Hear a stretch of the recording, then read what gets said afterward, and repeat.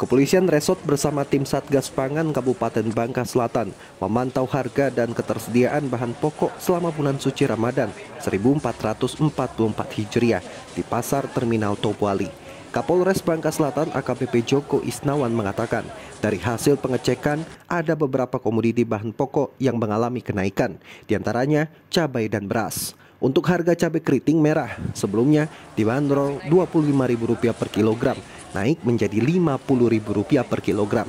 Kendati demikian, dirinya memastikan persediaan aman dan tidak ada kendala selama bulan suci Ramadan. Untuk harga beras sendiri mengalami kenaikan dikarenakan harga eceran tertinggi juga di kisaran harga Rp14.400 untuk premium dan untuk medium dibanderol Rp11.500.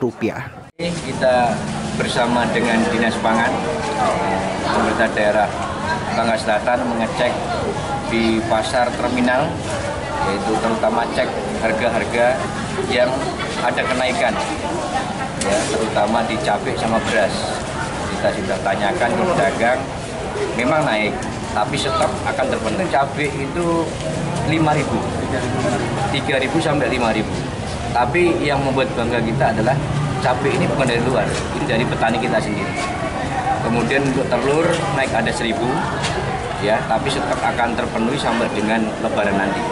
Kemudian beras, beras juga ada kenaikan, tapi ada e, dari penjual menginformasikan bahwa sebentar lagi Rias akan panen beras, sehingga kemungkinan nanti harga akan stabil lagi untuk beras. Selain itu, Kapolres Bangka Selatan akan mengerahkan Satreskrim untuk melakukan pengawasan agar tidak terjadi penimbunan bahan pokok.